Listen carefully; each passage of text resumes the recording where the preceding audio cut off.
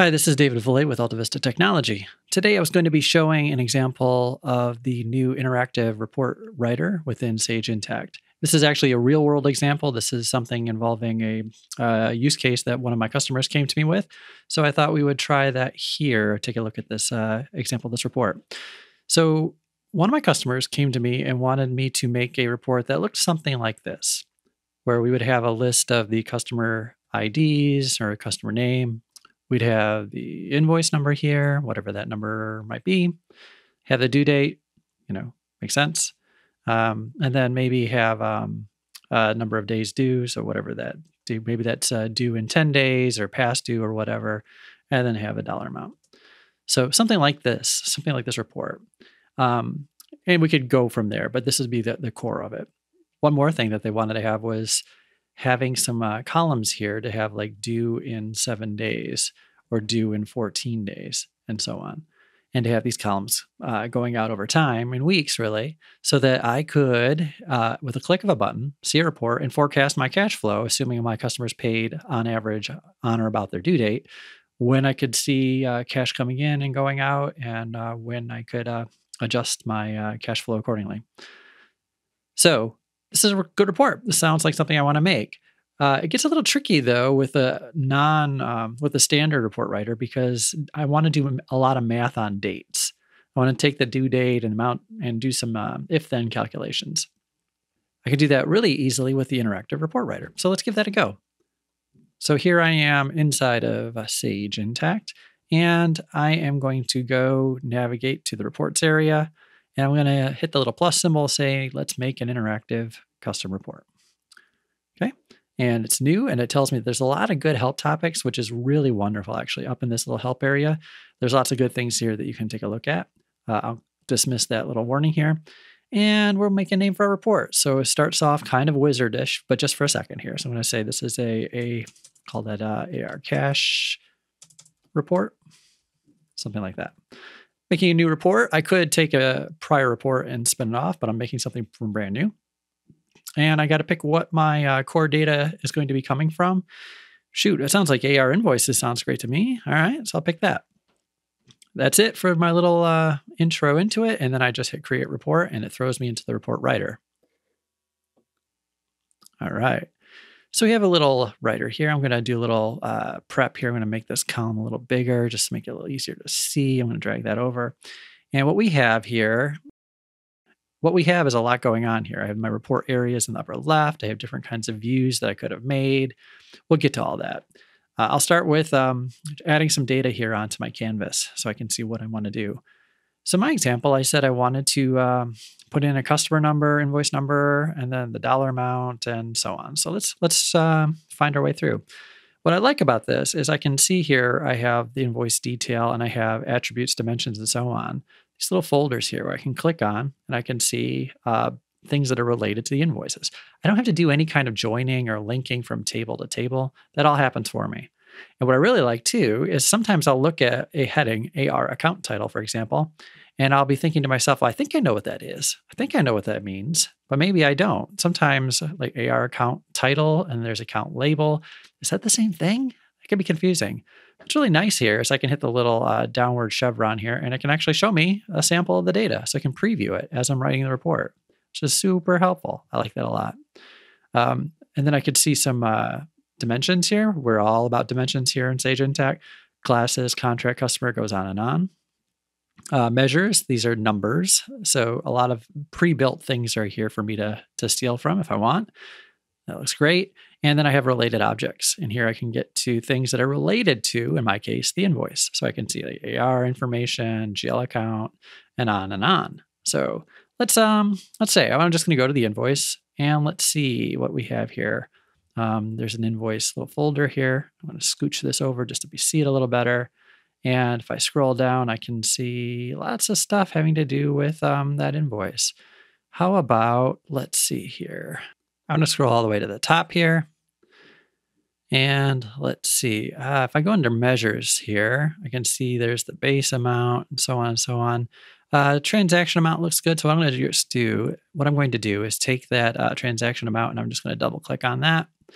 And thinks about it and it adds the information off to the side. That's great. Uh, let's do a little bit more here. I'm going to scroll down and go down to the invoice itself. And let's see if I keep going down here. I think if I go far enough, oh, I saw something that I like here. There's a due in off the invoice. That looks really good. I'm going to take that, double click on that one. And there we go. Now I have the due in. Okay. We're getting a lot of stuff on our canvas here. Ooh, invoice number. That looks really good. I'm going to add that too. Really good. A lot of good things are happening here. Now let's scroll up a little bit. I didn't get my customer though, customer name or ID. I could I could handle either in this example. It's all up to me here. There you go. That's my customer name. All right. So we're getting some information on the report here. Let me organize that a little bit. Like that name, I might want to move that over here to the first position. I can see that. Okay, looks a little better. I might see my invoice number. I want to put that over here. And then I can see my due in days. That looks really interesting here. And I got my total amount. This is coming together. I'm seeing my report really quick here. This is great. Um, let's do a few more things to this report if we might. Uh, I wanted to have that column, right? I wanted to have a column that would say, if this is something due in the next seven days or so, then I want to see it and I could keep adding columns after that. Okay, well, how, how might I do that? Well, there's a whole bunch of little widgets and buttons appear on the top of my uh, little dashboard here. There's a calculation column and so on. Calculation column sounds right to me. I want to add that. So I click on that button and you get a pop-up. So I could say I get to build a formula. So uh, in my example, let's say due in seven days is a column that I want to see. That sounds good to me. And it could be the folder title as well as my column title. That sounds great. And I'll scroll down a little bit here and I get, get a formula editor here. So I'm going to uh, insert a function. So not so bad. They help me out a lot here. I kind of want to do an if here. I want to say if the due in column is within certain numbers, then show me the dollar amount. Otherwise, show me a zero. Lots of good formulas here where they help you out with that. But uh, I'm going to go into the expressions area. And what do I have? I have if. That sounds right. Gives me a little help here. This scrolls down. There's even more information here, but it tells me um, something that I'm kind of used to seeing. When something is true, then do something else, do something else. Get a little techie here, but stay, stay with me. That sounds all right. So I'll say, yeah, that's the thing I want. Let's say okay. So case when something is true, let's do something. So the thing I want to do is actually I want to take that due in column because that was saying when a invoice is due in a certain number of days. Well, that's a column on my report. So if I hit the drop down, I can see it. So there's due in. Oh, great. Let's take that puts in some stuff. It looks a little gibberishy, but that's okay. So I'm going to say when the due date, okay, let's think about that. So uh, due in seven days here. So maybe I'll say when the due in days is less than or equal to seven, then do something. Okay, well, what's the do something I want to do here for this expression? I want to show the dollar amount. Let's do that. And the dollar amount was that guy right there. That sounds great. Otherwise, I want to put a zero. Great. That sounds like a formula I would like to use. And I'll say, okay, let's see what it does. Oh, great. I can see it's doing some things here. I can see that, um, let me drag this column around just to, to show and tell a little bit. Move that over here. Uh, here you can see the due in 10 days, it puts a zero. Um, I put a negative seven here, so that looks like it's past due. So that shows there. This eight, no, seven, yeah. So it's doing what I wrote. Now I could tweak that formula. I could add other columns to say due in four, 7 to 14, 14 to 21, get really elaborate with my report. This is looking pretty good here. So I'll drag that back. This is looking really good. This is close to the report I want. I would keep going in, in the real world example of adding a lot more columns. But let's do a few more things. Let's see. Um, one thing I would love is uh, if I had a subtotal here. You can see how I have these uh, uh, customer names. I can see the amounts, but I don't have a subtotal. That would be great. Well, I can click on the uh, name of the customer here, and I can create. Um, if I go down here, I can under this uh, name here. So I'm on a field called name. This is the customer name. I could show a subtotal after the values. Look at that. Wow, this report's coming together really well. I like that a lot. Okay, now, another nitpicky thing I might like is uh, I see these amounts here. These are dollar amounts. Well, you know, I, to me, yeah, that's a dollar amount, but I can't really tell that that's a dollar amount. I don't see, I like commas. I want to see like a good format on that that I'm used to seeing. So, how might I do that? Well, there's a few ways, but um, one good way I like is if you look at the top here, I have a define, refine, and prompts that gives you a little hint of all the, the horsepower that's under the hood here. I'm going to go back to my define, just go back to the big picture here and see all the elements that are on this report. And I can see some measures here, the invoice here, and there's that due in uh, seven days. And if I hover over the little down arrow here, uh, I can see uh, a little pop-up menu shows up. So column properties is an option here. That sounds interesting to me. Let's take a look. Wow, a lot here. so I'm going to go over to the data format because I know that um, there's a good way to format what I wanted here. So I can hit the override, whatever that format was. So in the database, it's just storing those as numbers. Uh, but I want to say, you know what, that's actually displayed as currency. Do I want a currency symbol? Mm, I don't care about that. I could. I'll leave it off. How do I want my negatives to look? A lot of choices there. My big thing though is I do want to have that that uh, thousand separator. I want to have commas, and sure, let's do the two decimal places. That sounds great to me. So I'll say okay. I just did that on the due in seven days, and I also want to do that over here on my invoice number here. So I want to go back to that. So let's go ahead and go to my column properties, and I'll do the same thing I did just a second ago. So I'm going to override the, the default formatting. Oops, looks like I picked the wrong column here. Let me back out of that.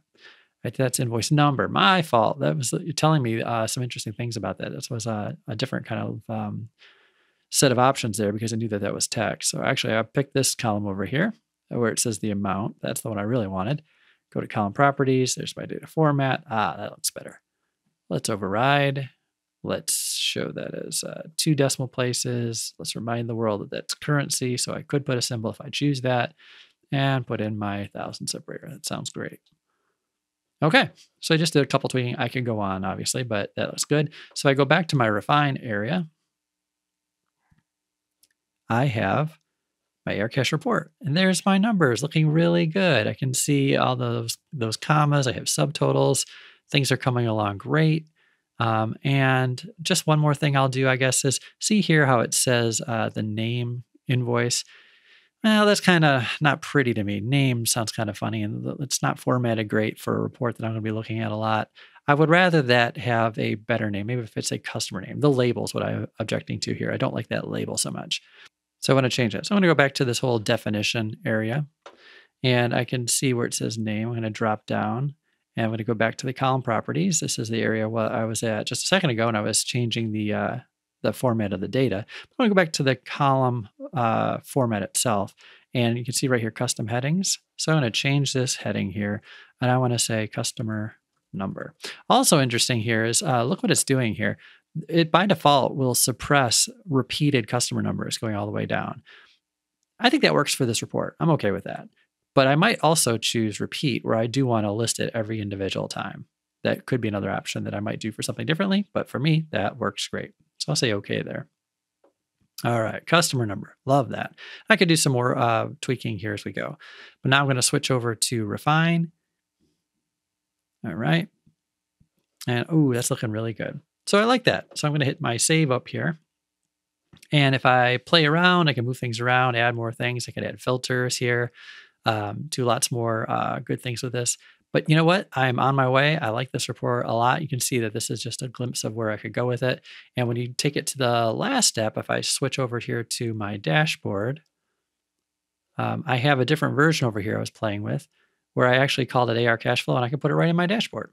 So I can have that there and it's all available for me to view or print or do other uh, manipulations on, kick it to Excel if I want for some reason, all sorts of good things here.